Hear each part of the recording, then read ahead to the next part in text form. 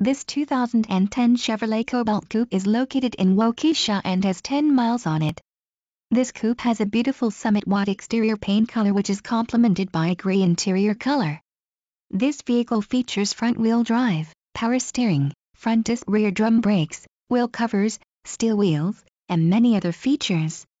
For more information on this great coupe please click the link to the right.